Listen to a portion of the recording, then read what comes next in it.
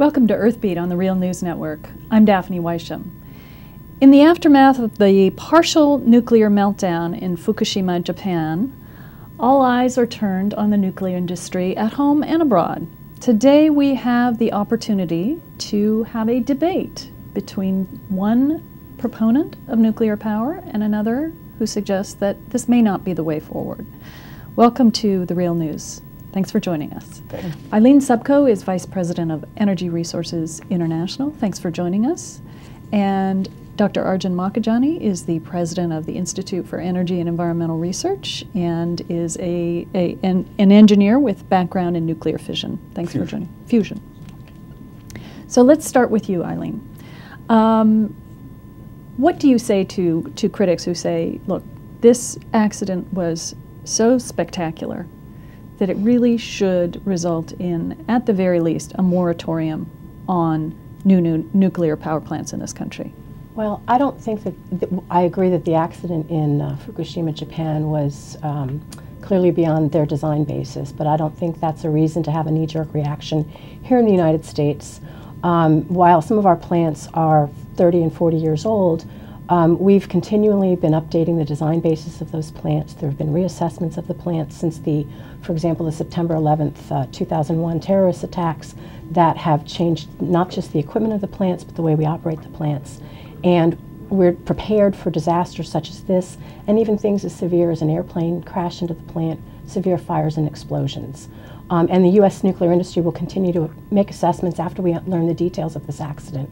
We're not going to stand still and stand in place. We'll make sure that our plants are operated safely. Dr. Makhijani, what do you say to that? Well, I think we need to do two things. The Nuclear Regulatory Commission has been certifying designs of new reactors in this so-called nuclear renaissance, which isn't really happening, but new reactors that are proposed. I think we should take a pause and reevaluate the basis on which these certifications are taking place. Do we have enough depth in the emergency um, power supply and power plants? Do we have two layers, three layers? Do we need two layers, three layers, or more? Because what happened here is the emergency generation got knocked out, the power got knocked out, and in a reactor, which is really like a pressure cooker with heat on the inside, you need emergency cooling when the power gets knocked out. And the, the, the, the other thing we need to do is we need to look at our existing reactors, which is a separate problem. Uh, this, at Fukushima, we have spent fuel pools, mm -hmm. and there's water boiling in those pools. They need to be kept cool. We have spent fuel pool vulnerabilities that have been talked about by Brookhaven, Brookhaven National Lab and the National Academies of Science, and the Nuclear Regulatory Commission isn't paying attention. Eileen, in terms of the uh, seismic activity in this country, some suggest that Japan, because it's on the rim of fire, it's a geologically very active region of the world, that a 9.0 magnitude earthquake could never happen here, followed by a tsunami. And yet, uh, we do have quite a few nuclear power plants in geologically active parts of the, the country, such as California, even Washington State. Uh, Me too. And, and, and each. What, what, and, and, what is the likelihood of a, an earthquake of that magnitude uh, taking place? And just how prepared are we for A, a tsunami, and B, uh, for the total shutdown of power, such as which we, what we've seen taking place in Fukushima? Well, each nuclear power plant has to assess the uh, probability of earthquake tsunami if it's appropriate. Obviously, in the middle of, of Iowa, you're probably not going to have a tsunami, but flooding would be an issue there, hurricanes, um, total station blackout, which is what we're talking about, loss of power. All plants have to be able to assess that and they have to be able to survive. Plants have backup diesel generators, and in addition to the backup diesel generators, there's an additional backup power supplies that have been added at plants since September 11th. The, the idea is the plants have to be able to cope if some catastrophic um, failure occurs at the plant, potentially loss of some of the plant systems, like we're seeing here. Um, the, with respect to earthquake, you can't compare a nine point um, earthquake in Japan to an earthquake in the United States. The geographies are different. You have to look at the specific seismic conditions at the site, and each plant is designed for the specific geological conditions at those sites and environmental conditions at those sites. Are we prepared, uh, Arjun Makhijani, well, for, for an earthquake, even, even a 7.1 or an 8.0 in in California. I mean, we had we had one what a 7.3 uh, or so back in the late '80s in San Francisco. Um, are we prepared for those kinds of earthquakes in the San Onofre um, and uh, Diablo Canyon nuclear power plants? Well, what we're looking at in Japan is not only a, a, power station blackout because the grid has gone, but a destruction of the infrastructure around. It's very difficult to get equipment in there. It's very difficult to hook things up. Mm-hmm. We don't have adequate knowledge of what's gone on inside the reactors. Just imagine two weeks ago if we'd had this debate and you'd asked, do you think the Japanese plants are designed safely enough for all contingencies? And what would Tokyo Electric company have said. Uh, so I want us to imagine that situation and then post as to whether we're sanguine. I, I, I'm not a seismologist. I do know that the plants that have been licensed, as Eileen said, have gone through a seismic evaluation. And as Jas- Chairman Jaczko testified yesterday, you calculate the acceleration and the shaking of the ground and design according to that. But I have two caveats. I think that um, we're not, we need to take a pause and not issue a press release saying everything is all right, don't worry. I think even the NRC seems headed in a direction of evaluating which plants may not have been adequately evaluated. They may not be the ones on the California coast. They may be along the New Madrid Fault in the in the east and south. Mm-hmm. So I, I do think that if we do not take a pause, I'm not saying reactors should be shut down, even though, and I wouldn't say that that's a knee jerk reaction. Germany has decided to shut down seven plants before, be, that were designed or operational before 1970.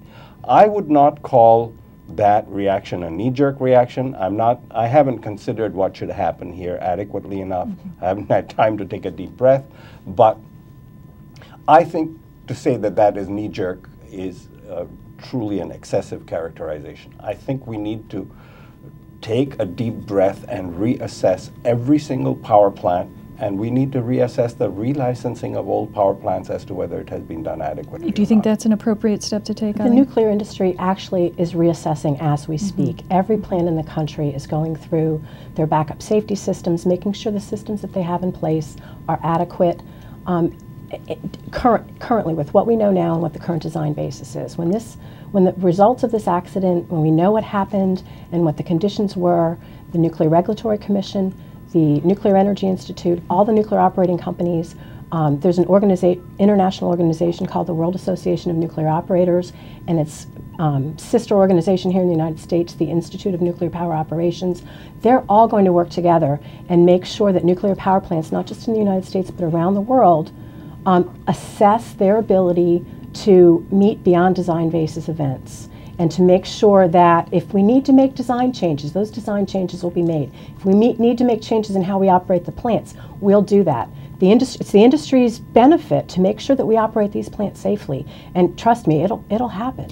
Now, one of the things that is is somewhat alarming about uh, the situation in Japan is that we're realizing that uh, when when these spent fuel rods are placed in the in, essentially uh, in the open, um, there there there's water on top of them, but the water has been leaking out uh, due to fractures in the in the vessel.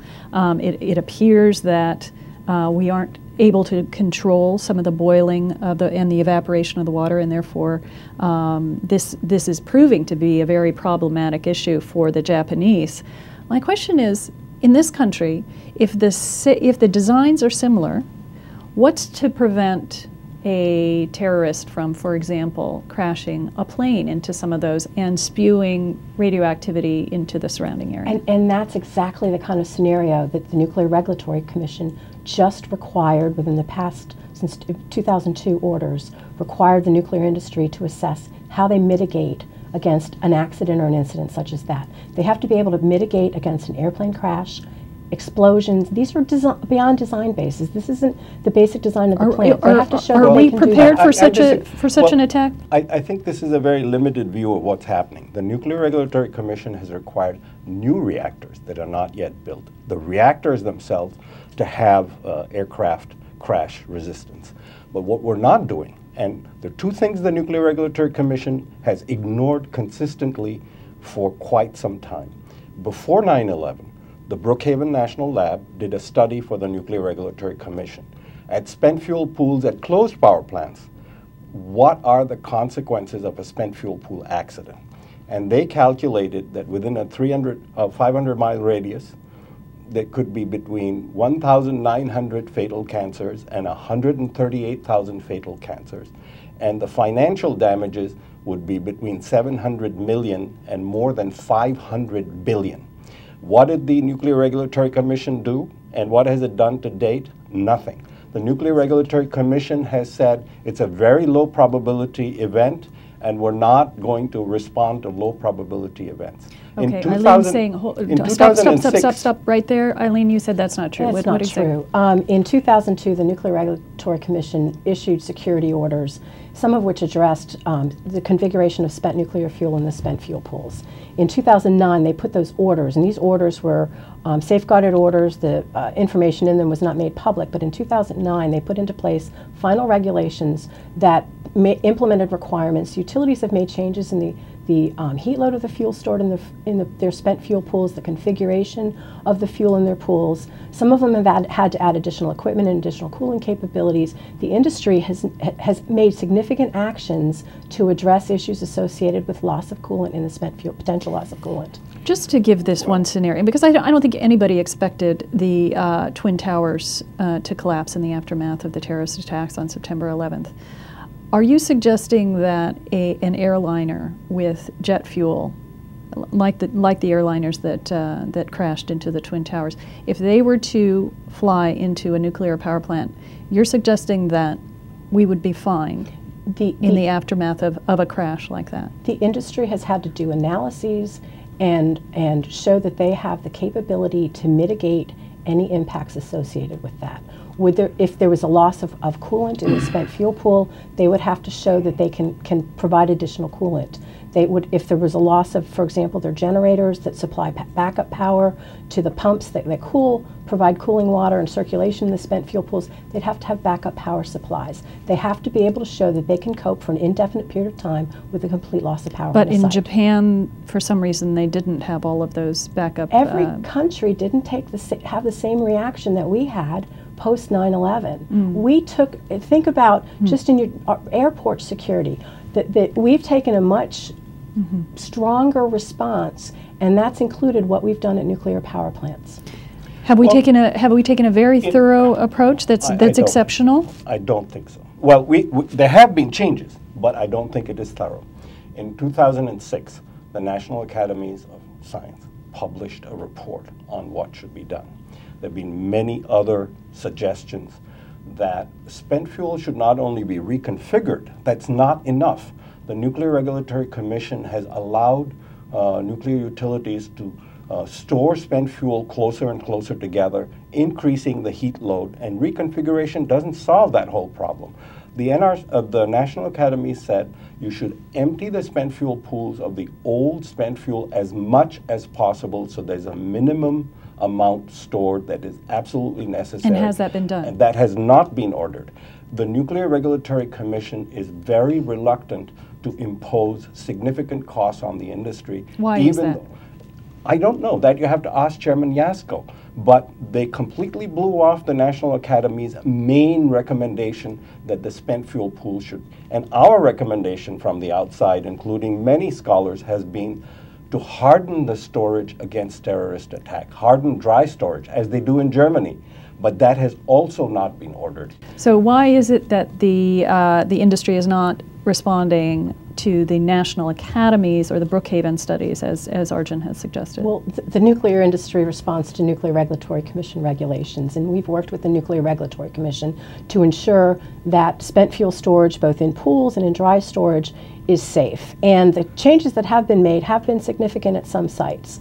Um, I disagree that we need to move all spent fuel out of the spent fuel pools and put it in Not all, I didn't say all. Well, you can't do that and put it in hardened on-site storage, the, or to accelerate doing that. It's not necessary. Um, if, if, if you can show that you can provide adequate cooling in the event of a se severe accident or incident, something as severe as, as an airplane crash, and th- that you can cope with that, then then we've we've done our job and we're, we're keeping people safe and Okay, we're so- operating the plant safely. So Can I let's let's let's let's, let's let's switch to the the, the issue of cost, um, because one of the Could I ask reasons, Eileen a question? Uh, not, Okay, yeah, okay. One of the reasons that um, opponents of nuclear power are opposed to nuclear power is they suggest it's not financially viable on its own without these loan guarantees. Uh, we've got wind energy that's competitive with natural gas. We've got solar energy taking off. What do you say to that? Why, after after decades of, of public sub- subsidies, why is it that the nuclear industry still cannot stand on its own feet? Well, I would disagree that the nuclear industry can't stand on its own feet. We're operating 104 nuclear power plants in the United States that supply 20% of our electricity, and we've been operating those plants for 40, 30 to 40 years. But with public subsidies of I one would- form or another. I would disagree. The, the uh, nuclear operating companies are, are, are standing on their own two feet in terms of operating those plants. We don't get subsidies from the government. You get loan guarantees. The though. loan guarantees are for new plants. And new plants um, will be assessed by individual companies that whether they, they they decide to seek building those or some other form of electrical generation based on whether or not they can economically operate the plants. In some service territories, um, companies have made a decision to go forward and build new plants. In other places in the country, they believe natural gas right now, the price of it is too low, they can't compete, and so they're not building. And what do you say to the issue of cost? Well, companies are not going forward on a market basis. They have said repeatedly, we're not going to risk investor money, and Wall Street has said repeatedly, we're not going to fund you. It's too risky. It's a bet the farm risk. The CEO of General Electric, which makes nuclear reactors, wind and gas turbines, has said, if I were the chief of, of a utility, I would never do nuclear. That's pretty close to an exact quote. The that's why they are the door hat in hand for not only for government loan guarantees, but financing from the federal financing bank. Plus, they're in the pocketbooks of the ratepayers. The only plants that are going ahead right now in the South, in, in Georgia and South Carolina and Florida, are where the legislature has required ratepayers to add to their electricity bills and give advance money to utilities without the utility ever guaranteeing they're going to finish the plant and give them electricity in return for their money. It's actually worse than a tax. You pay, but you don't get a guarantee that you'll get anything in return. One of the points that Arjun has raised is the issue of exposure of populations in the vicinity of the nuclear power plants, the, the increase in cancer rates and so on. What do you say to that?